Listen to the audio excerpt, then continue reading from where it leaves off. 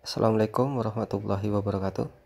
Kesempatan kali ini saya akan membuat tutorial bagaimana cara mencetak atau mendapatkan uh, file untuk print resi.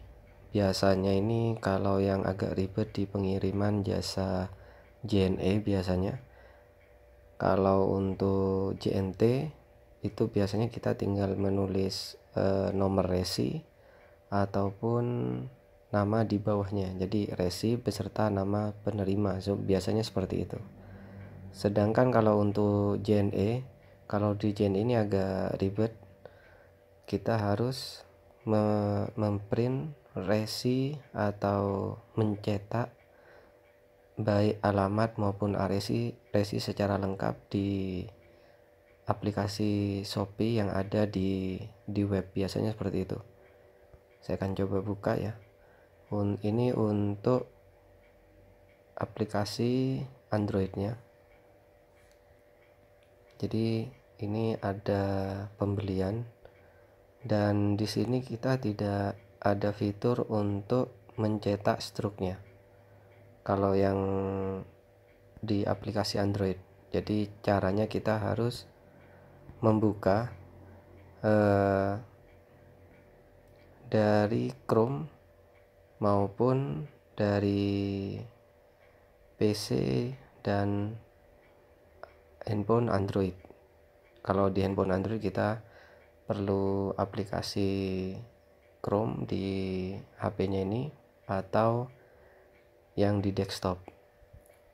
Dan ini saya sudah login jadi kita harus login dulu di akun Shopee yang kita miliki setelah itu kita pilih ini uh, jual.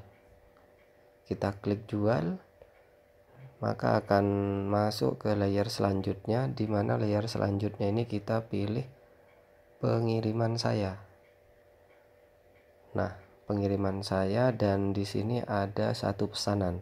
Saya akan coba yang ini dulu ya nah, satu pesanan satu pesanan dan di bagian kanan ada lihat rincian pengiriman atau mencetak resi. Nah, karena kita ingin mencetak resi kita klik cetak resi seperti ini.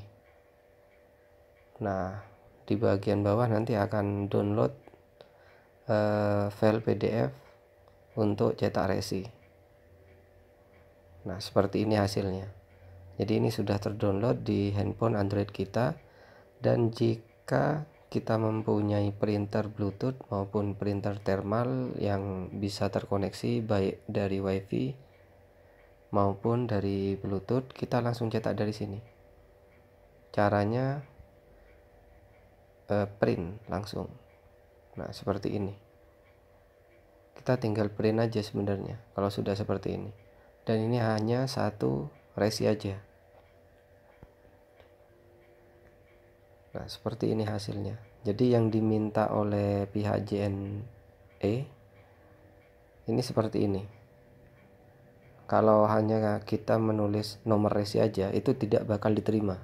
Kalau JNE kalau JNT kita tinggal nulis resi beserta nama penerima itu sudah dicetak sendiri di tempat pengiriman tersebut. Jadi yang agak ribet memang JNE tapi kalau ingin agak niat jualan kita cetak semua baik JNE maupun JNT si cepat Ninja Express atau ID Express. Caranya seperti ini. Jadi sangat mudah sekali.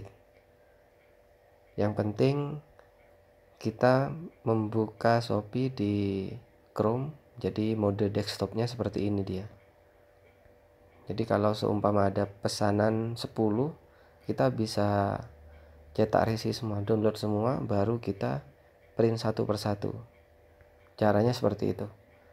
Ya mungkin cukup sekian yang bisa saya bahas. Semoga bermanfaat. Wassalamualaikum warahmatullahi wabarakatuh